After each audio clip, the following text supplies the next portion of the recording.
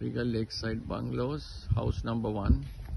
This is bordering the lake, the water reservation.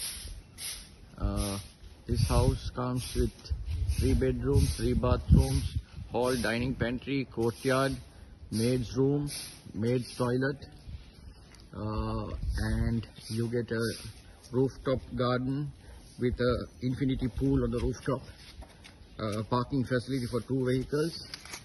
Uh, it is air conditioned rooms. Uh, you get the PABX system, CCTV, uh, fully fitted pantry. It is a car parking area. I'm going to walk you into the ground floor.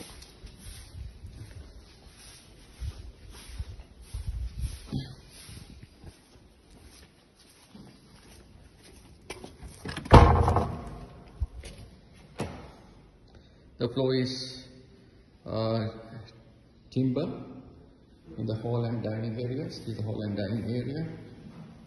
And here you get the courtyard with a skylight on top. And this is the entry to the pantry. Comes the microwave, cooker hob, cooker hood, and oven.